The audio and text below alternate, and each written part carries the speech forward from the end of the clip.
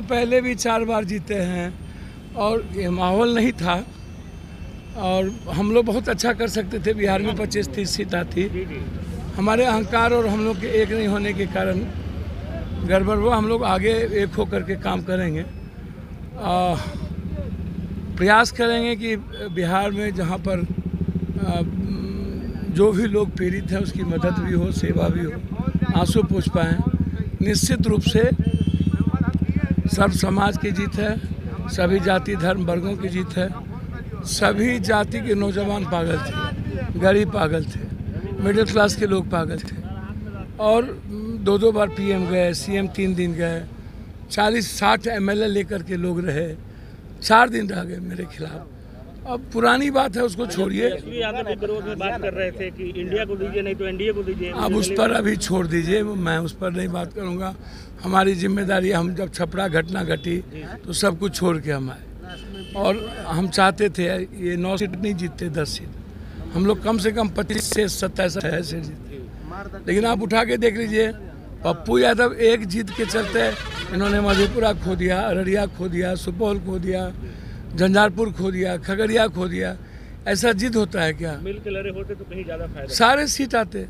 मधेपुरा और अररिया हम हार जाएँ सुपौल हार जाएँ कभी हारे थे हम। लालू यादव की बड़ी गलती है। अब मैं किसी की गलती मैं अपने किसी गार्जियन को ऐसा नहीं करता। बिहार की जनता पर बहुत भरोसा करते हैं। भैया- भैया मैं जितनी ज़िम्मेदारी हमारी है ना हम इंसानियत के लिए लगाएँगे पप्पू यादव के सपनों का बिहार जो है उसमें कौन कौन से काम इम्पोर्टेंट है जो होने सर मैं तो भ्रष्टाचार के खिलाफ और आम आदमी को न्याय बिहार का और आ- ये माफियाओं के खिलाफ लड़ता हूँ और भ्रष्टाचार के खिलाफ लड़ता हूँ। इसको आप समझिए हर परिस्थिति में।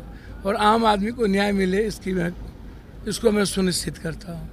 ये सब सबकी जीत है। आप लोगों ने जो ब्लेसिंग दी पूरे देश का हॉट सीट था।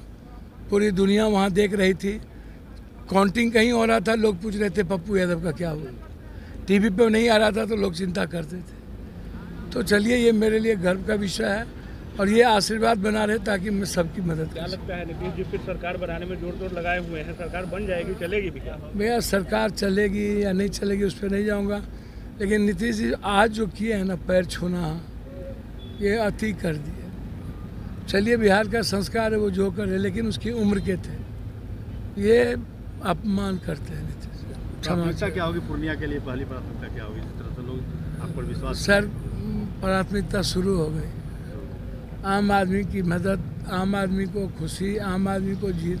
अवसर आम आदमी पर बोझ नहीं पड़ना और किसी के ज़िंदगी में किसी का दखल नहीं होना। जो आपको दिखाता है। सच का आईना।